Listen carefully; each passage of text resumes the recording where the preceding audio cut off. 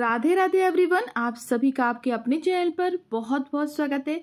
आज मैं आपके साथ शेयर कर रही हूँ अनंत चतुर्दशी की बहुत ही सरल पूजा विधि। तो चलिए हमारे वीडियो को शुरू करते हैं। इस वीडियो के माध्यम से मैं आपको, आपके मन के सारे जितने भी डाउट होंगे, वो क्लियर कर दूँगी। जैसे कि अनंत डोरा कब पहना जाता है? पुरुष और महिला को किस हाथ में पहनना चाहिए और इसको कब उतारा जाता है? तो सबसे पहले तो आप पूजा विधि देख लीजिए।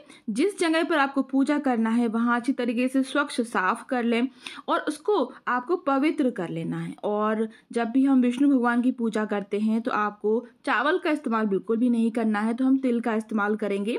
आप गेहूँ का इस्तेमाल भी कर सकते हैं। तो जहाँ पूजा करना है, वह चौक पूड़ लीजिए, पटा बिछा लीजिए, उसके ऊपर पीला वस्त्र बिछा लीजिए।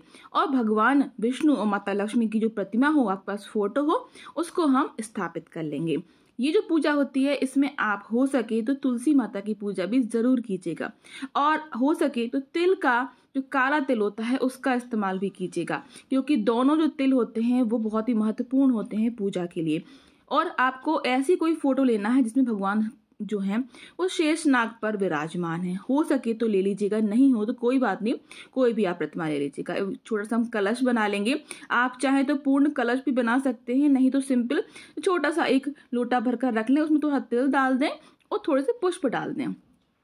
अलग से हम यहाँ पर एक प्लेट रखकर छोटा सा एक गमला रख रहे हैं तुलसी माता के लिए और यहाँ पर हम साथ में ही अपने पटे में ही पूजा कर लें। क्योंकि मेरी तुलसी माता थोड़ी छोटी है इसमें तो मैं पटे पर ही रख रही हूँ। अगर आपके पास बड़ी हो तो आप अलग से वहाँ जाकर भी पूजा कर सकते हैं।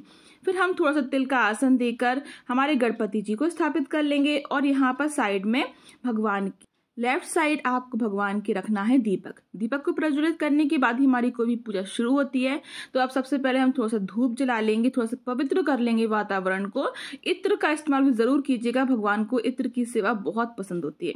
तो ये जो पूजा होती है, ये होती है भाद्रपद मास के शुक्ल पक्ष चतुर्थी तिथि को। तो इस दिन आपको अनंत भगवान की पूजा करना, यानी हमारे भगवान विष्णु की पूजा करना है। इस पूजा का जो फल होता है, वो बहुत विशेष होता है।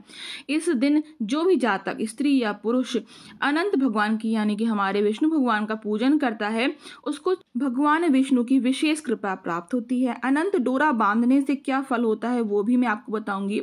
तो सर्वप्रथम अपने गणपति जी का पूजन कर लेंगे। तुलसी माता का पूजन करेंगे। कलश को भी टीक दीजिएगा। दीपक को भी हम पूजन, पूज लेंगे। लेंगे हमारे भगवान विष्णु, माता लक्ष्मी और जो ब्रह्मा जी बने हुए हैं उसमें फ़ोटो में उनको भी हम पूज लेंगे। इसके बाद आपको सभी जगह पर भगवान को फूल, पुष्प अर्पित करना है और जितने भी आपके पास मौसमी फल हो वो अर्पित कर दीजिए, कुछ मीठा प्रसाद भी अर्पित कीजिए। चावल की जगह पर हम यहाँ तिल अर्पित करेंगे। ध्यान रखिएगा, चावल का इस्तेमाल आपको नहीं करना है उस दिन। इसके बाद आपको एक चीज़ और मैं बता दूँ, अगर आप संतान सप्तमी की चूड़ी पहने हुए हैं तो आप इस दिन उसको उतार कर धोकर, साफ़ गंगा जल के पानी से धोकर, साफ़ कर कर पोछ कर आप इसको फिर से अपनी जगह जहाँ रखना चाहते हैं, वहाँ लाल कपड़े में रख सकते हैं। और इसी दिन गणेश जी का विसर्जन भी किया जाता है। दस दिन के बाद जब गणेश विसर्जन होता है, वो अनंत चतुर्दशी के दिन ही किया जाता है। इसके बाद आपको भगवान गणेश पर दूबा और पुष्प अर्पित कर देना है। माता लक्ष्मी के लिए लाल पुष्प अर्पित कीजिएगा। यहाँ पर मैं भगवान विष्णु के लिए मोगरा का की माला लेकर आई हूँ तो वो अर्पित कर देंगे। जो भी आपके पास उपलब्ध हो जाए आसानी से, वो अर्पित कीजिए। और यहाँ पर हम अनंत जो डोरा होता है, वो अर्पित करेंगे और जनेऊ कलावा अर्पित करेंगे। अनंत की पूजा करने का क्या फल होता है, वो भी मैं आपको बता देती हूँ। अनंत डोरा का जो फल होता है, वो विशेष माना गया है। जो भी जातक इसको धारण करता है, बहुत सारे जो जातक हैं, वो चौदह वर्ष तक धारण करते हैं, पर उसके बहुत नियम होते हैं। तो अगर आप चौदह वर्ष तक धारण ना कर पाए तो आप चौदह दिन के लिए कर सकते हैं। और चौदह दिन के लिए भी नहीं कर पा रहे हैं तो आप जिस दिन पूजा कर रहे हैं, उस दिन ज़रूर पहन कर रखें। फिर रात को सोने से पहले आप उसको उतार कर, फिर अगले दिन किसी भी जल सरोवर में पवित्र जल सरोवर में आप उसको विसर्जित कर सकते हैं। इसके बाद देखिए, यहाँ पर हम अपने जो शंख है, उसका पूजन कर लेंगे। विष्णु भगवान की पूजा में शंख का पूजन ज़रूर कीजिएगा। जनेऊ के अलावा, जैसे मैंने आपको बताया, वो हम अर्पित कर देंगे, क्योंकि रक्षा करते हैं भगवान। अनंत का जो डोरा होता है, वो मार्केट में आपको बना हुआ मिल जाएगा। अगर ना मिले तो आप मौली जो कलावा होता है, उसमें चौदह गठान बांधकर, गांठे बांधकर, उसका पूजन कर कर, उसको टीक कर, उसको धारण कर सकते हैं पूजा के बाद। पुरुष जो हैं, वो अपने राइट हैंड में दाहिने हाथ में बांधें और जो महिलाएँ हैं, उसको लेफ़्ट हाथ में अपने बाएँ हाथ पर बाँध सकते हैं या फिर अपनी बाजू में भी बाँध सकते हैं। इस तरीके से आपको ये पूजन, ये विधि करना है। इसके बाद भी अगर आपके मन में कोई क्वेश्चन हो, आप मुझसे पूछ सकते हैं। हमने जो भोग लगाया है, वो फलहारी पेड़ का लगाया है, आप कोई भी भोग लगा सकते हैं। आपके घर में जो भी प्रसाद बनाया है आपने, उसका प्रसाद भी आप लगा सकते हैं। इसके बाद आपको आरती कर लेना है तो मैं यहाँ घी की बात जलाकर आरती कर रही हूँ। आप चाहें तो कपूर की आरती भी कर सकते हैं और छोटा सा हवन भी कर सकते हैं, जैसे भी आपके पास सुविधा हो। विष्णु सहस्त्र नाम का पाठ अवश्य रूप से कीजिएगा, अगर आपके पास समय है, नहीं है तो आपने विष्णु भगवान के 108 नाम ज़रूर बोल लें।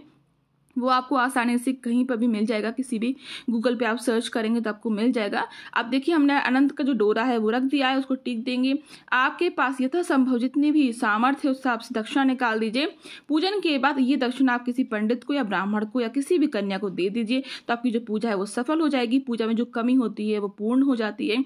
अब जो हमारे भगवान के लिए हमने आरती उतारी थी, वो आरती भगवान को देकर हम अपने आप को पूरे समस्त परिवार को आरती देंगे और हम अब प्रार्थना करेंगे हाथ जोड़कर कि हे भगवान जी, अगर हमसे कोई भी भूल हो गई हो पूजन में तो माफ़ कीजिएगा और हमारा जो व्रत है उसको स्वीकार कीजिएगा। आखिरी में एक तुलसी पत्र भगवान को ज़रूर अर्पित कीजिए, उनके भोग में भी तुलसी पत्र ज़रूर डालें। पूरी पूजा का हमने आचमन कर ही दिया है। अब हाथ जोड़कर प्रार्थना करेंगे, हमारी जो पूजा है उसको सफल बनाए।